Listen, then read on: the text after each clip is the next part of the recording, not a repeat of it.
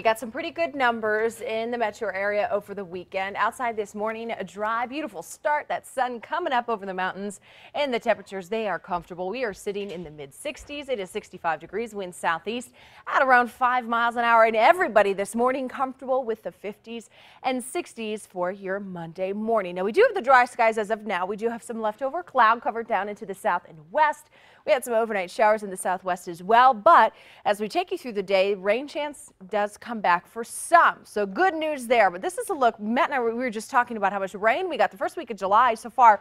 Over a half an inch of rainfall. Uh, we're actually at 0.63 inches is what we have gotten officially in Albuquerque, but still pretty dry for the year. Our 2014 rain deficit so far sits just over an inch and a half. So we do still need that rain. And good news is the next couple of days we're going to keep the rain chance in the forecast for at least parts of New Mexico. The setup for today is a little bit drier conditions setting up shop over the eastern plains and even parts of the central uh, portion of the state. Far, far western New Mexico and parts of southern Colorado, a much better chance for the rain and storms today. But we could get some dry thunderstorms, unfortunately, central and eastern. But super storm track, here we go. One o'clock, you can see a lot of that green and even yellow, some isolated heavy pockets of rainfall will be possible today. The thunderstorms that we do get developing, really not a whole lot of movement with them. So they are going to be slow movers, which means we're going to get a lot of rain at once in those locations when it does develop in our far western locations. But as we take you through the afternoon, mostly sunny to partly cloudy skies for the majority of the first half of the day. We will look for a little bit more cloud cover towards 5 o'clock, but overall, uh, we're going to be keeping the skies dry here in the metro area. 86 at noon, 92 degrees by 5 o'clock with a high today of 94. We'll have mid 80s in Santa Fe, 89 degrees in Taos with some lower 90s down in Las Cruces and in Alamogordo for today. But as we talk about our rain chance tomorrow and by Wednesday, a front starts to move in, starts to move into the northeastern corner, and that's going to help bring a lot of the moisture back. So we are going to see our rain chance go up through the middle of the week, becoming a little bit more widespread for parts of New Mexico. But southern Colorado today, you will still have the chance for afternoon and evening storms. You'll also have highs today in the upper 80s with the rain chance sticking around. As we take you into the north and west, partly cloudy skies with evening storms possible.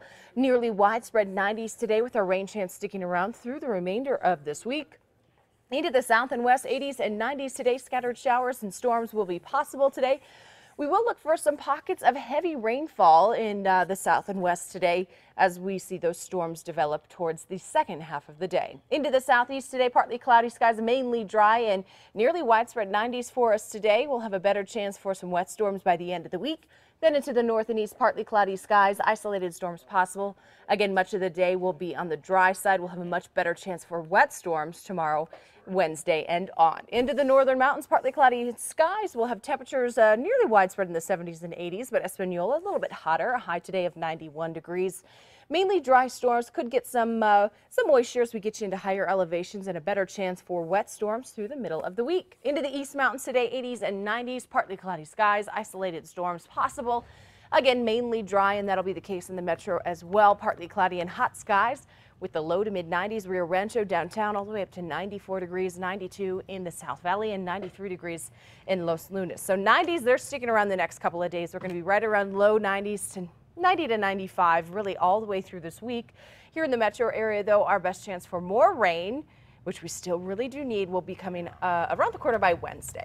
Okay, you know, it's amazing. If you think, okay, we got rain all, all over the weekend, mm -hmm. the end of mm-hmm. last week, it really doesn't add up to all that much. It